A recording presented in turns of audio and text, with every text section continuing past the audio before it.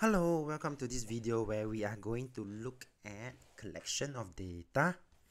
So, for this very first part, we do need to check that data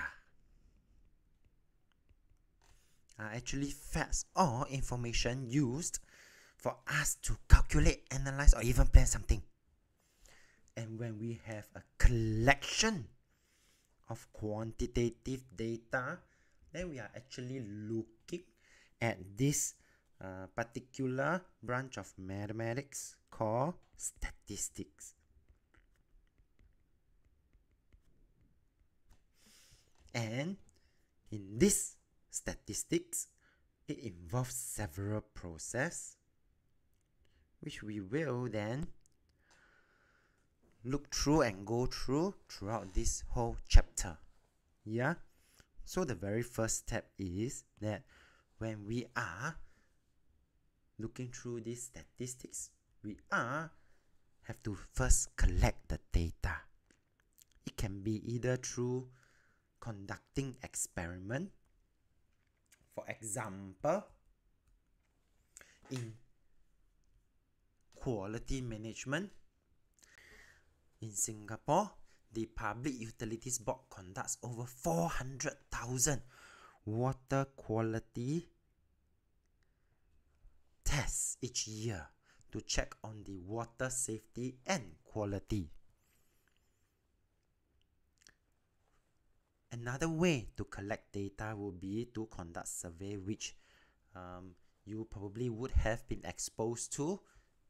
For example, face-to-face interview, telephone inquiries, questionnaire, online surveys. Yeah. A third way of actually collecting data would be to observe outcomes. This could relate to observations of things in our daily lives.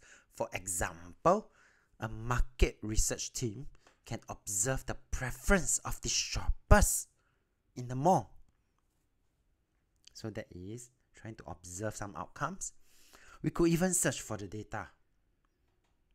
The Singapore Department of Statistics do publish data about Singapore in our in their website at www.singstat.gov.sg. And now, with all this data, how do we make sense of it? We must first organize the data. It can be in tally table, followed by frequency table, which we will be exposed to subsequently in some of the examples that I will go through. And after which, we will then have to represent the data. And from the representation, we analyze the data. These are the four main um, graphs that we will be looking through. But this is not exhaustive. That means there are others possible representation. Alright. Without further ado, come let's start to go through some of the examples.